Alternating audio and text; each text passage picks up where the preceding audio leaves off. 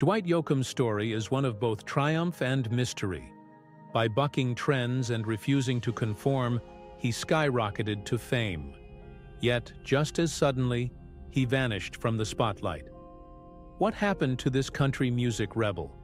In his heyday, Dwight was the favorite country singer of many an artist. At a time when his peers were churning out sugary ballads and pop-infused crossover hits, Dwight Yoakam was on a mission to reclaim the genre's roots. His boldness even caught the attention of the legendary Buck Owens. In 1987, Dwight surprised Buck by showing up unannounced at his office and convinced him to record a duet.